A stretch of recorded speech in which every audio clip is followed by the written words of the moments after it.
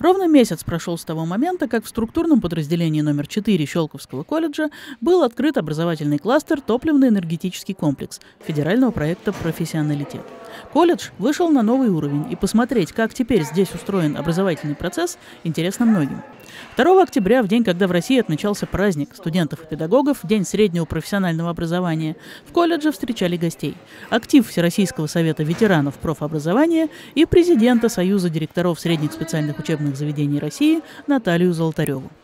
День волнительный. Таких людей встречаем, которые много лет отдали среднему профессиональному образованию, сделали значительные вещи для развития профтехобразования.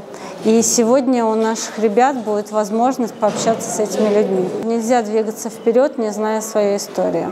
И вот эта связка, когда у тебя есть люди, у которых есть сумасшедший опыт, знания, и ты вместе с ними при их поддержке движешься вперед, опираясь на их опыт, это дорого стоит. Гости побывали на занятиях студентов, которые учатся в новом топливно-энергетическом кластере. С любопытством заглянули в учебники и тетрадки. Сотрудники колледжа с гордостью показали, как оснащены новые лаборатории и мастерские.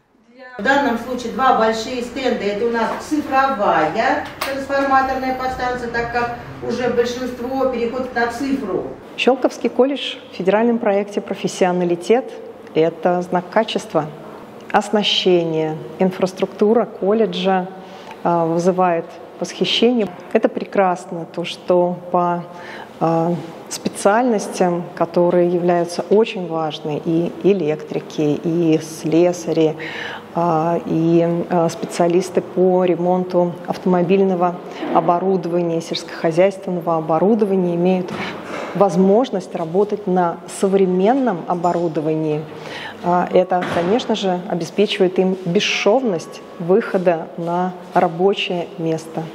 Ветераны профобразования, хоть и люди весьма уважаемого возраста, но с интересом наблюдают, как меняется система СПО. А главное, опыт бывших директоров учреждений, сотрудников управляющих органов в этих переменах тоже востребован. Написанные ими методические пособия переиздают и переводят на иностранные языки. Мы проводим патриотическую работу со студентами. А, мы э, сохраняем, работаем по сохранению истории профобразования с Федеральным музеем профессионального образования работаем много. Работаем сейчас над созданием энциклопедии героев Советского Союза и героев социалистического труда выпускников профессиональных училищ. Студентам Щелковского колледжа ветераны тоже дали урок патриотизма. Рассказали об истории профобразования в России, о знаменитых людях, которые начинали свой рабочий путь с обучения в фабрично-заводских ремесленных училищах. Среди них Георгий Жуков, Юрий Гагарин, Сергей Королев, Иосиф Кобзон и многие другие. Также в рамках Дня СПО прошло заседание Президиума Всероссийского совета ветеранов. На нем обсудили вопросы подготовки к 85-летию государственной системы профобразования, которая будет отмечаться в следующем году. А главное, выбрали нового председателя организации. Символично, что это произошло в Щелкове. Совет ветеранов возглавил Владимир Нерсисян, бывший директор Щелковского колледжа, заслуженный учитель, почетный гражданин Щелковского муниципального района. Это очень уважаемый человек в системе профессионального образования. Это очень уважаемый человек э, в Министерстве просвещения Российской Федерации. Если коллеги решили, что мне надо быть председателем, значит будем. Но мысль такая, что надо развивать Э, вот эти вот э, ячейки ветеранов профобразования в регионах. Тем более, что э, много достойных людей. У нас ведь много ветеранов непосредственно на земле, в колледжах и так далее.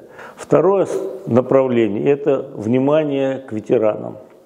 Вот так необычно отметили в Щелковском колледже День среднего профессионального образования.